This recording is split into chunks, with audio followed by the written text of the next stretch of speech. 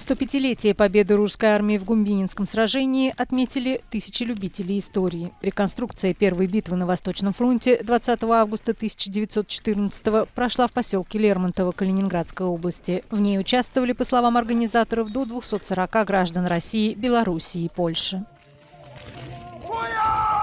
Она не настоящая, не оригинальная. Это, конечно, изготовлена точная копия.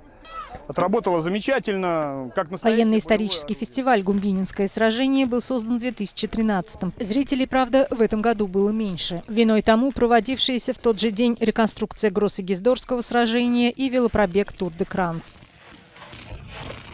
Главное показать, донести для зрителя, а, что это было за эпоха. И что самое главное, какой был враг. Что мы воевали не, про, не против э, там, каких-то там картонной армии. Это был очень обученный, очень серьезный солдат, который считался... Битва при Гумбинине завершилась отходом германских частей и победой русской армии, хотя соотношение сил перед сражением было не в ее пользу. Российская империя потеряла убитыми 10 тысяч человек, германская – 8 800.